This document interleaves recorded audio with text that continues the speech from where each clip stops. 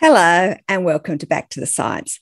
I'm Dr. Susan Oliver, and I'm a scientist, but I'm pretending to be an athlete. And this is Cindy Oliver, and she's pretending to be a unicorn. She really wanted to pretend to be an athlete as well, but I couldn't find a jersey small enough for her. So, why are we both pretending to be something that we're not? Because today we are going to be covering a website that pretends people who aren't athletes are athletes in order to trick people into thinking that athletes are suddenly dying in large numbers. And that website is Good Sciencing. And this website not only spreads disinformation directly, it is also used by anti vaxxers around the world as a source for ludicrous claims and here are some particularly ludicrous ones from none other than Pierre Kory. So you think the big uptick in sudden death is, is clearly the vaccines? It's I, I am not confused about it at all. Just look at the professional football players. I just did a review of this. You know, there's a website that has cataloged all of the professional football players. Right now, 1,024 collapses on the field with something like 780 deaths of young, healthy footballers and other athletes from around the world in 2021. Do you know what the, football or soccer? Yeah, yeah, that's yeah, football or soccer. soccer. Exactly. Sorry, soccer. you know, I, I always forget, you know, what right. Yeah, yeah. So I, I, love soccer slash football. And so foot, I, football to you, soccer. So a thousand soccer players that fall over down. a thousand, uh, and it's not all soccer. There have been others from other sports, but they're predominantly soccer. However, you know, they've done reviews of sudden death in young, healthy athletes over 30 years. You know what the average was in one year? 29 across the world. We already are over a thousand in the last year. And just in January of this year, there was 127 collapses and 87 deaths in one month, January. Now, before we go on to look at the website where Pierre Kory has supposedly got his football players' deaths from, Let's just correct him on the number of football players who typically die suddenly every year. Pierre Kory in this clip claims that it's 29 per year across the world. However, if we look at this study here, which actually catalogued sudden death from 2014 to 2018 in football players, we see that a total of 617 players suffered sudden cardiac death which is over 120 deaths per year. And this is only for players of the form of football known as soccer, not other football players and not other athletes.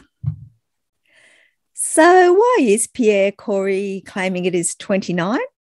Well, it appears he saw the number on the Good Sciencing website and didn't do any due diligence to check if it was correct.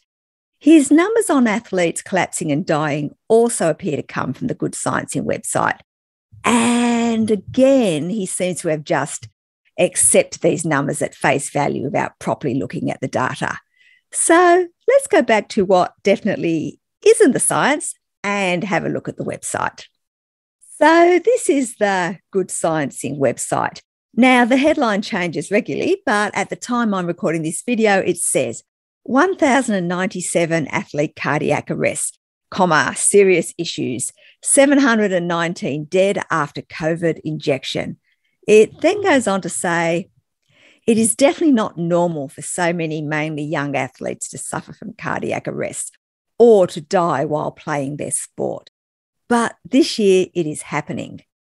Many of these heart issues and deaths come shortly after they got a COVID vaccine while it is possible this can happen to people who did not get a COVID vaccine, the sheer numbers clearly point to the only obvious cause. They then try to set the scene by pointing to what they claim are sources showing particularly low rates of those deaths. They point to two documents.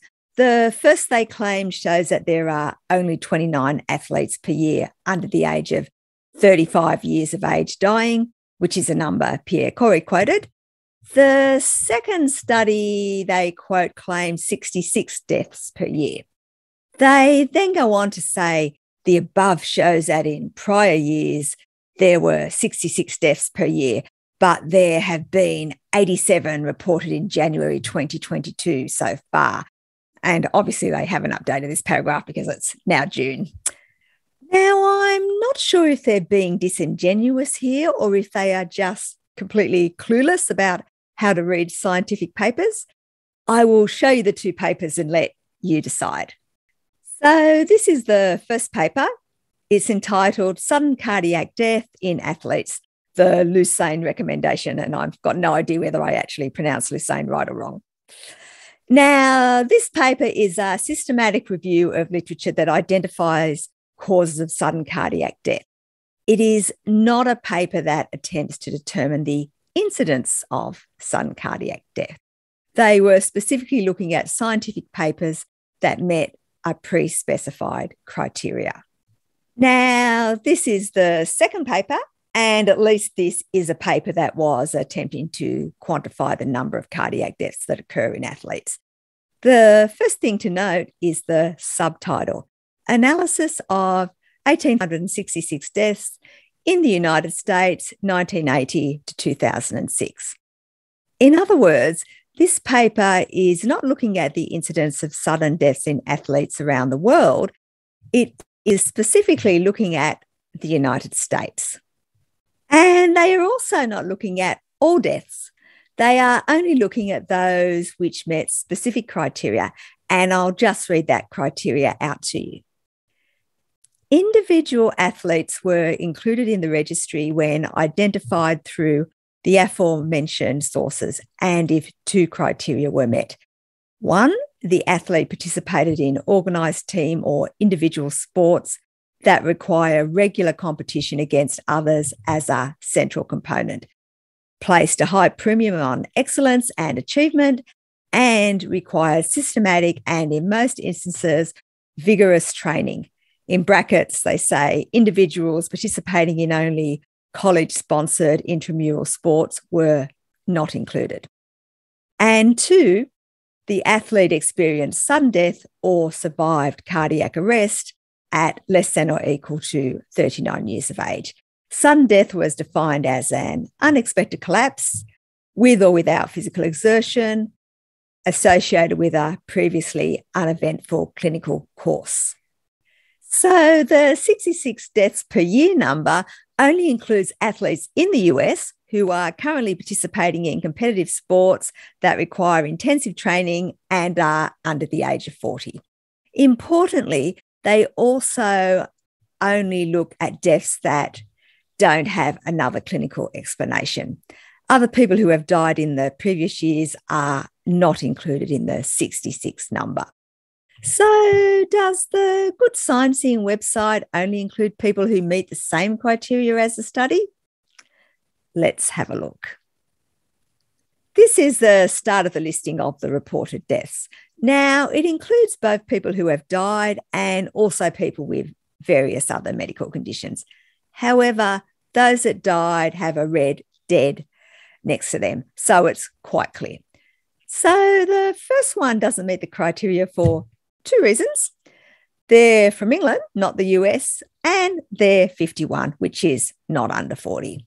And although at 57, I think 51 is incredibly young, it's not normally an age that most people would call young.